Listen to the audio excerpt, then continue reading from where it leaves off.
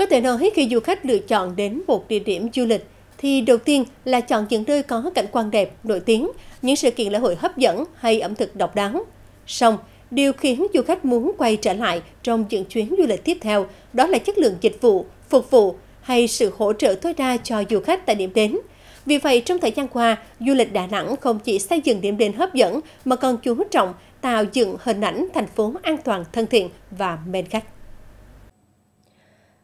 Không chỉ là những bãi biển quyến rũ, những cái cầu độc lạ bắt ngang qua sông Hằng, nhiều địa điểm tham quan nổi tiếng như Bà Nà Hills, chùa Linh Ứng, danh thắng của Hành Sơn và các sự kiện đặc sắc như lễ hội khoa học quốc tế mà Đà Nẵng còn hút khách vì môi trường an bình.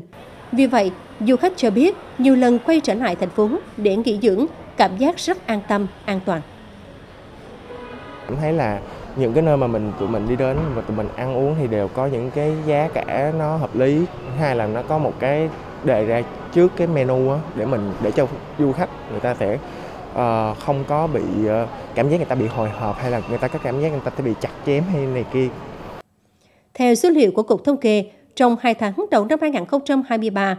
khách do cơ sở lưu trú phục vụ tăng 4,7 lần so với cùng kỳ năm 2022, đạt 90,4% so với cùng kỳ năm 2019.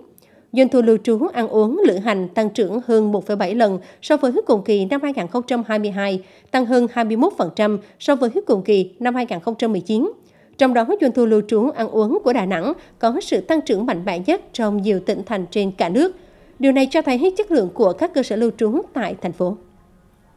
Tuy nhiên thì một cái khách sạn hoàn hảo, đâu đó mình cũng sẽ gặp những cái lúc khách hàng không hài lòng. Thì đối với những trường hợp khách hàng không hài lòng với chất lượng dịch vụ ở một khía cạnh nào đấy, thì với cái um, um,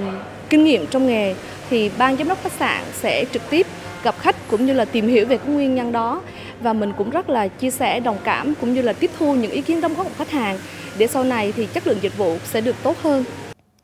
Thời gian qua, Đà Nẵng nhận được một số phản ánh của du khách về chất lượng dịch vụ. Song, thành phố đã xử lý nhanh chóng kịp thời, qua đó tạo sự tin tưởng cho du khách.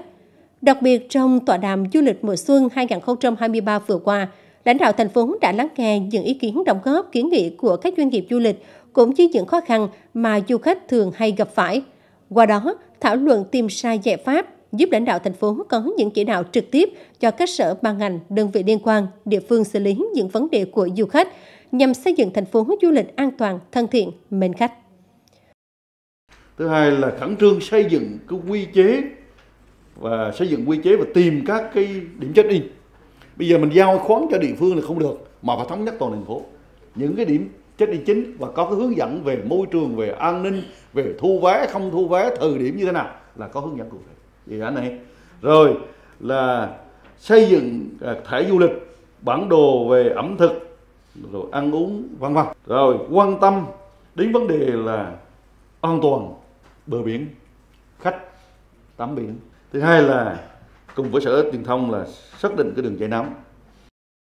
không xây dựng hình ảnh du lịch nhất thời mà hướng tới những giá trị bền vững Đà Nẵng luôn cầu thị thay đổi từng ngày để thích ứng, tạo ấn tượng với khách, mang đến sự hài lòng và chất lượng tốt nhất cho du khách, qua đó nâng tầm thương hiệu điểm đến du lịch Đà Nẵng.